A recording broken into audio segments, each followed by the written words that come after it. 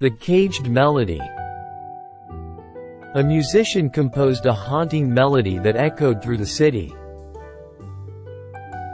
It was said that whoever played it would be granted fame and fortune. In the end, the composer revealed that the true magic of music was not in seeking fame but in sharing emotions, inspiring others to create their own melodies.